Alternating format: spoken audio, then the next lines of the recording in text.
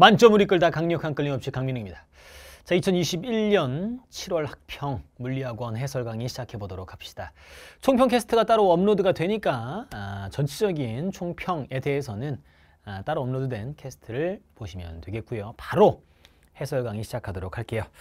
자, 1번부터 20번까지 뭐 당연하지만 20문제가 있어요. 20문제 다 풀어보도록 할게요.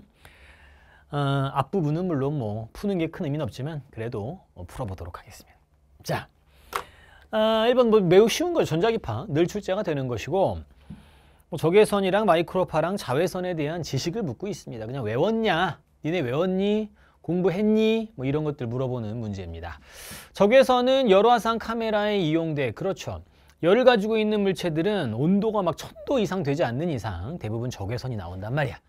그래서 적외선을 감지를 해서 어, 화면에 가시광선으로 바꿔주는 장치가 바로 그 열화상 카메라죠. 그래서 적외선이 이용된다. 맞는 말이고요.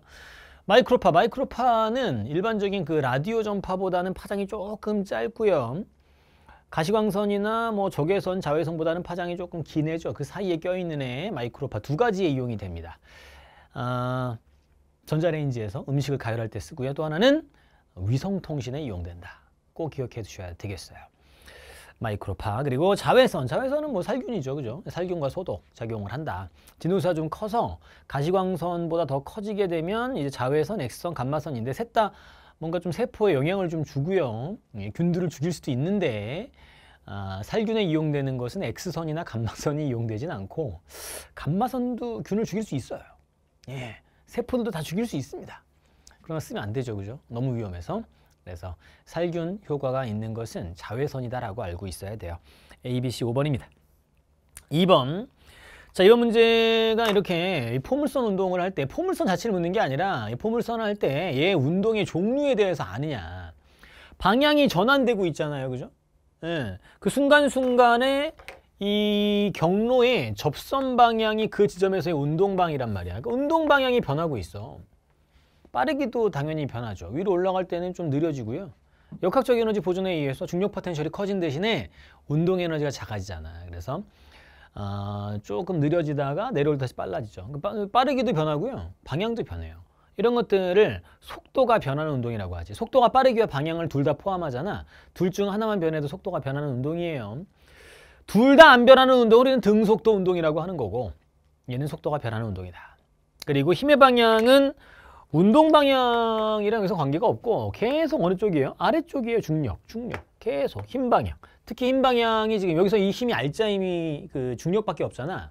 알짜 힘 방향이 가수도 방향이거든. 가수도 방향이 어디냐라고 하면 아래 방향이라고 해줘야 돼. 항상 가수도 방향은 알짜 힘 방향이거든.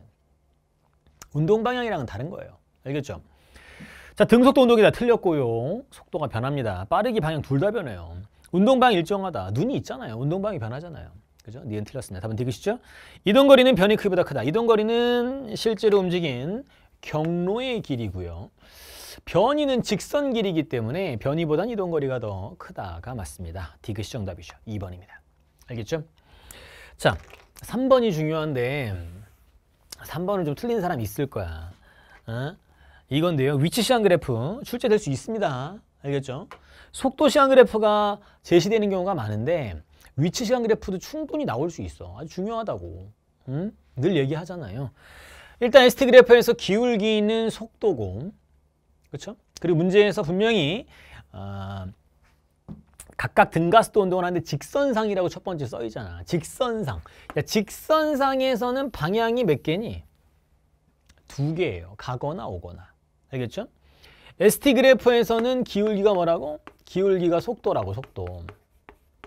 그치? 예, 기울기의 크기는 이제 빠르기가 순간순간에 빠르기가 되겠죠. 음. 자, 봐봐. 처음에 0m 위치에 있다가 아, A 구간, B 구간에서 계속 위치 값은 커져요. 만약 오른쪽 방향을 양의 방향이라고 한다면 처음에 기준점이 있을 거 아니야. 거기가 원점이라고 합시다. 그러니까 A나 B나 계속 A에서도 오른쪽으로 가고 있고 B에서도 오른쪽으로 가고 있어요. 알겠죠? 예, 갔다가 이제 C로 갈 때 돌아오는 거야. 돌아오는 거잖아요. 저 왼쪽 방향으로 C에서 이렇게 지금 파란색으로 그린 게 운동방입니다. 알겠죠? 근데 봐봐. 빨라지는지 느려지는지 한번 표시해 볼게. 순간순간의 기울기가 빠르기니까 기울기가 좀 가파라지잖아요. 빨라지고 있는 거예요. 첫 번째 A 구간은 빨라지는 구간이라고. 응? 빠르다 느리다 정도는 할 수 있을 거 아니에요. B에서는 기울기가 점점 완만해지죠. 느려지고 있다는 얘기야. 오른쪽으로 가지만 느려진다. C는 돌아오는데 기울기가 점점 커지잖아요. 그죠? 예, 기울기의 크기가 왼쪽으로 돌아오고 있는 것인데요. 빨라지고 있는 거예요. 자, 그럼 봐봐. 그럼 흰 방향을 내가 노란색으로 표시를 해볼게. 빨라지면 운동 방향과 흰 방향이 같은 방향인 거지. 느려지면 운동의 반대쪽을 힘을 받고 있는 거고. 그게 기본이잖아. 그러니까 A 구간에서는 어, 빨라지고 있잖아요. 힘을 오른쪽으로 받고 있다는 얘기야. 힘. F라고 표시를 해볼게요. B에서는 느려지잖아. 운동 방향의 반대쪽으로 힘을 받고 있다는 얘기예요. 그래서 B에서는 왼쪽으로 힘을 받고 있다는 거지. 어? C는 왼쪽으로 가는데 빨라진대. 그럼 힘이 또 왼쪽이에요. 이해됐어? 어. 즉 A 구간에서는 힘 방향이 오른쪽, B 왼쪽, C도 왼쪽이야. 그러니까 B랑 C에서 힘 방향이 같은 거예요. 왼쪽으로. 힘은 벡터야. 알겠죠? 화살표 방향. 아. 또한 우리가 늘 알고 있는 가속도라는 것은 m분의 f지. 그럼 가속도의 방향은 이 F가 알자 힘이잖아요. 알자 힘 방향 가속도 방향이에요. 이 노란색 화살표가 가속도 방향이야. 그럼 A랑 B의 이 사이에서 힘의 방향이 바뀌었지 그때가 가속도 방향이 바뀐 거예요. B에서 C로 갈 때는 가속도 방향이 바뀌지 않았어. 힘이 계속 왼쪽이었거든요. 이런 걸 놓치면 안 된다는 거죠. 됐니? 음. 아주 중요한 문제예요. 자, 아, 기억 A의 속력은 점점 증가하냐? 빨라진다 맞고요. 동그라미 치고 니은 가속도 방향은 B랑 C. B랑 C에서 흰 방향이 계속 왼쪽이지 가속도 방향이 왼쪽으로 같은 겁니다. 알겠죠? 이 그림상에서는 반대이다. 니은 틀렸고요. 디귿.